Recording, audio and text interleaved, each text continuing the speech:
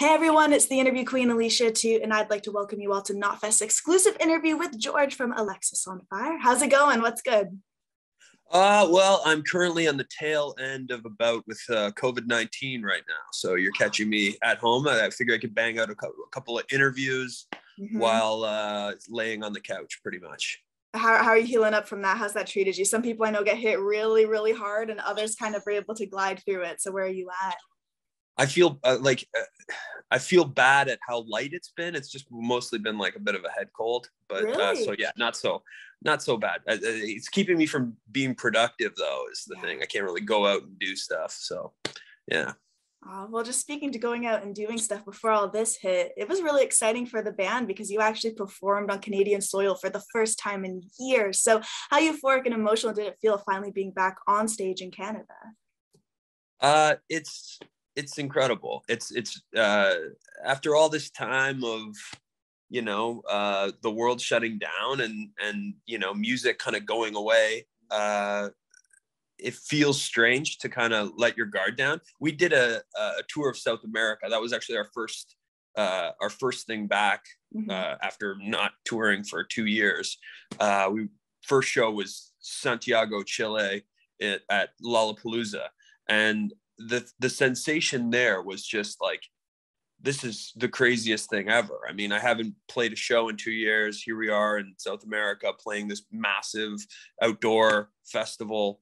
Uh, so we kind of had like that build up. We we we played some shows before this one, but still being at home, having a hometown crowd, uh, it was it was remarkable. It was really nice. Oh, that's amazing. There was this clip that went around recently too from one of those recent shows. It was just you yelling on stage, that was fucking dog shit. it was during a recent one. It was so funny to me. So do you remember exactly why you screamed that? Like was there an exact moment that triggered it?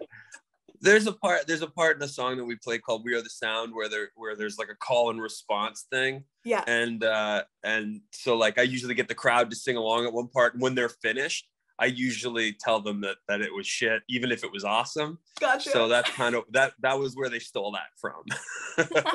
so, I feel like mm-hmm. live shows are always filled with so many fun moments like that, but also some super bizarre ones. So, what would you say is one of the weirdest or craziest things that you've actually seen go down at one of your shows? Um, probably like, I mean, like there was there was a uh, a guy with he took out his glass eye at the front of the stage and he just like held it up to us like you know like we are sitting there playing and he pulls out his glass eye and just like huh. points it at me. That was that was kind of bizarre. I can only uh, imagine what was running through your mind in that moment the confusion. Yeah yeah. I remember we played it we played a festival in um in Quebec one year, and it was right when the mayflies came out. These big, weird winged things, like they're like uh, they're like shad flies, kind of, and they were everywhere, all over everything, on the amps, on like our stage, and so you're just playing in this cloud of bugs. That was that was another bizarre, uh, bizarre one. Yeah. That sounds gnarly and not in a good way. I can imagine you trying to just keep going the whole time, like the whole band playing their instruments and whatnot, just swatting stuff the entire time. yeah, yeah. And oh, crowds. Man. Yeah, they were everywhere. Yeah. Well, it's fun right now because the band not only were back on the road, but you're also back in terms of having an upcoming record called Otherness. And this is the first album in 13 years. So, how did that all kind of work behind the scenes? If we were to take the Knotfest viewers in, when did you kind of all realize that you wanted to come back and create a new record? Uh, the hardest, the hardest thing for Alexisonfire uh, is getting us all in the same room at the same time. We are all doing a bunch of different things. We all have different jobs outside of the band. And um, uh, one thing, one silver lining to the global pandemic was that it brought us all to Southern Ontario. Uh, and we got about a year deep into the pandemic and we were like, look, we are wasting this opportunity. Let's let's find some time and safely as we can rehearse and let's try and write some stuff. And we didn't know. So uh, you know, uh, fast forward to about a month and a half after we'd been rehearsing for a while, we had about eight or nine songs.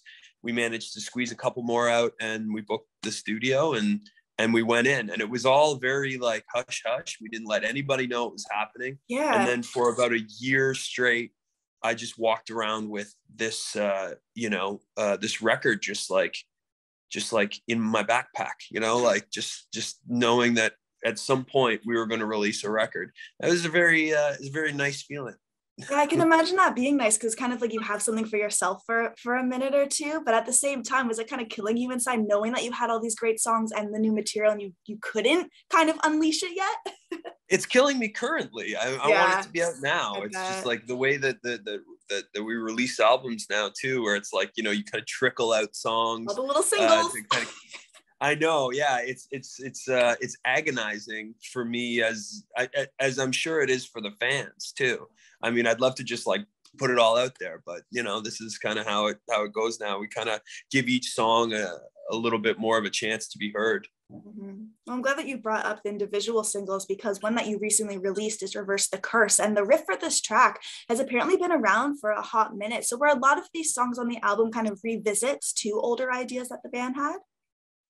Some of them, uh, there there are a few riffs that were that have been sitting around for a long time that have been kind of in people's you know uh, you take voice notes on your phone and and collect riffs and and stuff like that. So there are a few of those were older. That was i think that the reverse the curse riff is the oldest one uh, uh, from the record. Okay. Uh, but yeah a lot of it's brand new. A lot of it's absolutely brand new oh. Uh, material but uh, there's some some riffs just won't go away they're just like they're kind of there in the back of your mind and when you start to when you pick up an instrument like they just like they immediately kind of come to the guitar, I think. And that was that was this one. Yeah. Is it kind of a nightmare going through all those voice notes? I can only imagine having so many from over the years and realizing, oh yeah, that's like a hidden gem that I haven't touched on in forever. Yeah, some of them are a hard no. You know, like some of them are an easy. It's easy to be like, yeah, no, that there's there's a reason why that sat in my voice notes for you know five years. Uh, it's because it wasn't very good but uh, yeah, some of them are just like earworms. They're just something you can't quite get out, uh, you know, like, and then usually we find a way at, at some point they kind of present themselves in a new light the, mm-hmm. when we're recording and or when we're rehearsing and they they kind of become what they're supposed to be but yeah no it, you can sit on an idea for a very long time sometimes but the beauty of that is you can finally revisit it and then you have a track like the latest single that came out and it all kind of just, you know, the synchronicity of it all. So that's awesome. Yeah, it's very nice. Something I liked seeing recently was that fan poll that you all did, kind of getting them to choose the 20 essential Alexisonfire tracks. Of course, seeing Sweet Dreams of Otherness at number one, sneaking that in there. And so, which track for you was... would you say is the essential one if you were kind of to take part in that poll? Uh, I mean, I, I feel like our obvious biggest song would have been uh, "This Could Be Anywhere in the World" from Crisis, but uh, I mean, like "Young Cardinals" is one. Like, eh, there's there's a lot. There's a there's a lot of songs that I I think are they're like those songs that we it's a no brainer. Like they have to go in the set list when we yeah. play. You know, um, uh, "Accidents" is another one. You know, like there there are certain songs that are just like they're written in granite on our set list. Like they're just there forever. And those are those are three of them anyway. No, that's exciting. Well, George, I want to say thank you so much for taking the time and for hopping on here today. It's been a pleasure being able to talk about everything that's on the horizon. Of course, very exciting times. So we appreciate it. Uh, it's good talking to you. Have a good one. Same with you.